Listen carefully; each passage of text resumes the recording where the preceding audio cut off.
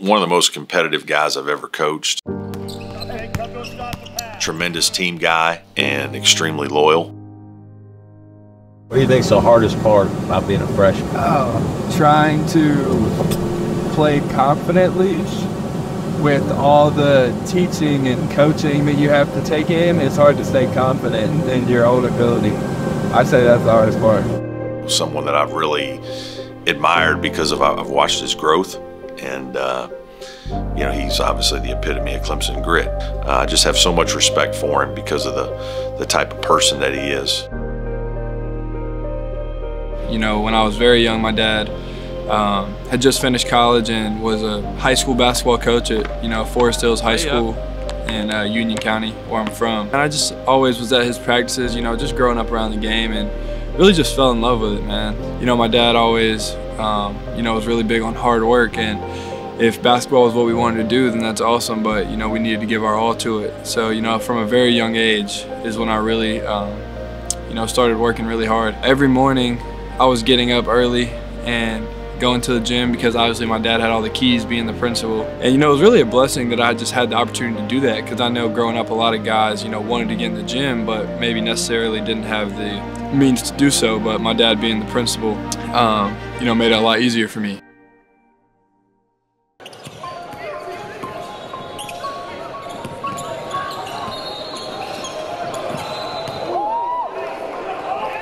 he, he played in high level basketball uh, in the AAU circuit. So uh, even though some of the high school league games maybe weren't as competitive as he would have liked, he was constantly a guy that was going to challenge himself. He was going to find good games. Coming from Monroe, you take I-85 to get to Atlanta. So Clemson's, you know, about halfway point, a little bit farther. I had been in talks with Clemson a little bit. They hadn't yet offered me, but they said, you know, why don't you stop by and you can see campus. So my family and I stopped by had a look at campus, met Coach Brownell, sat in his office, talked to him for a little bit.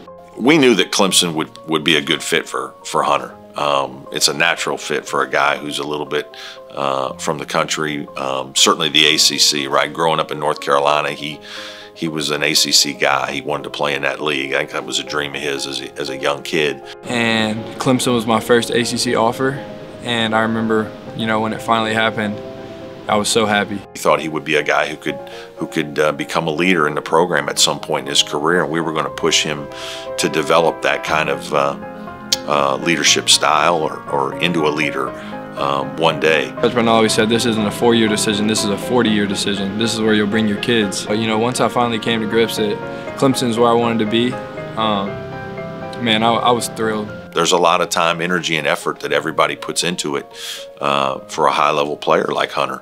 Um, and so when you get somebody like that to commit, obviously, you know, there's a tremendous rush of adrenaline and thrill and excitement, um, you know, and, and uh, that certainly was the case with Hunter.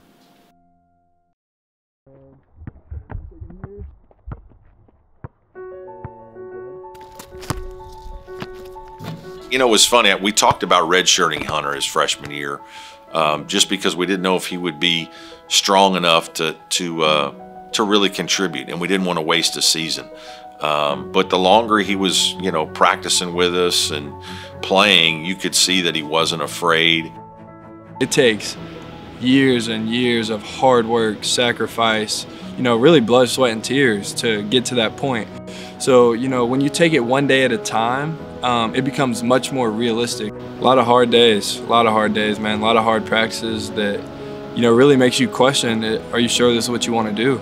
But, you know, deep down I always knew that, you know, basketball is, you know, something God had planned for me.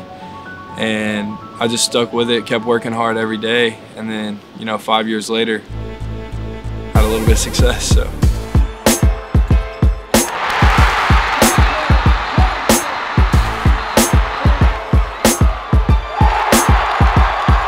You're developing a vision that you get with a young person um, to be successful. And then you, you lay out a plan, right? And it starts with, uh, you know, the strength coach in, in terms of trying to get bigger and stronger, uh, more physical. You get with the nutritionist and work on your diet. And then obviously there are things in basketball that you're trying to, to work on their game. For Hunter, it was a lot of dribbling and passing. He was already a pretty good shooter.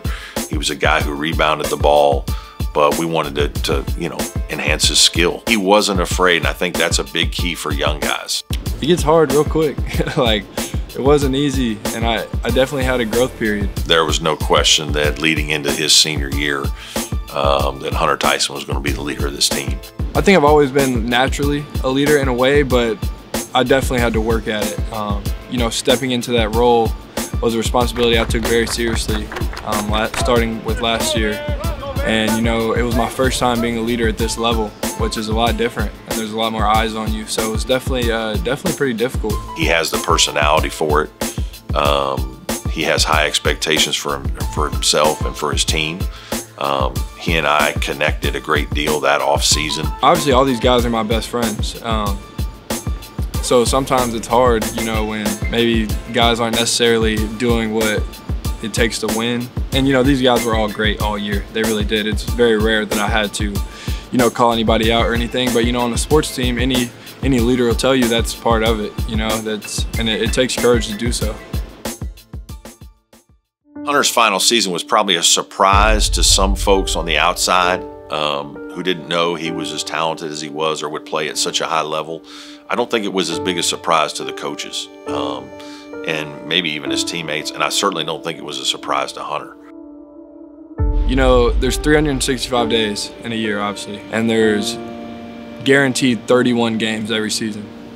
So, what do you do the rest of the days? You know, you need to treat those days when you're not playing games at, like game days because honestly they're more important than game days you know you'll have you'll have your game days to you know perform and shine and you know do all the things that you do but you know those other 330 days or whatever it is those those are the days that are important um, you can't have success if you don't take those days seriously. So i just try and you know like i said treat every day like a new opportunity to get better. And you know in my opinion those days are more important than the games. So. Pay attention man. Hey listen breathe he really has always believed in himself and carried himself as a good player. And so it's it's you know, I think that's really step one in being a great player is having that mindset. You know, I, I want to keep playing. I want to play as long as I can. You know, hopefully that's in the NBA. You know, I have this opportunity. I'm so thankful that, you know, God's put me in this position and I'm just going to, you know, try and do my best to glorify him through the opportunities he's given me. You know, you can't control everything, but I try and control what I can and, you know, just put my faith and trust in him. I, I think his legacy will be seen um, in some of the guys who are leading this year's team. Um, certainly, PJ Hall, uh, Chase Hunter, um, you know, really good relationship with both those guys, uh, even in Alex Hemenway. I think those guys have seen what great leadership looks like, and they've seen if you want to achieve at a high level the work ethic, the standards that you need to set for yourself, uh, and those guys will, you know, try to try to emulate that.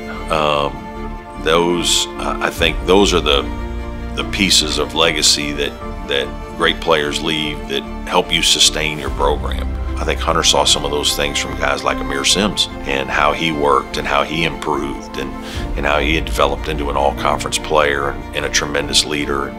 So he grew from that experience, and, and a guy like PJ Hall most certainly will grow from Hunter Tyson's leadership and just being around him. You know, we all are sad to see him go. Um, it, it's hard.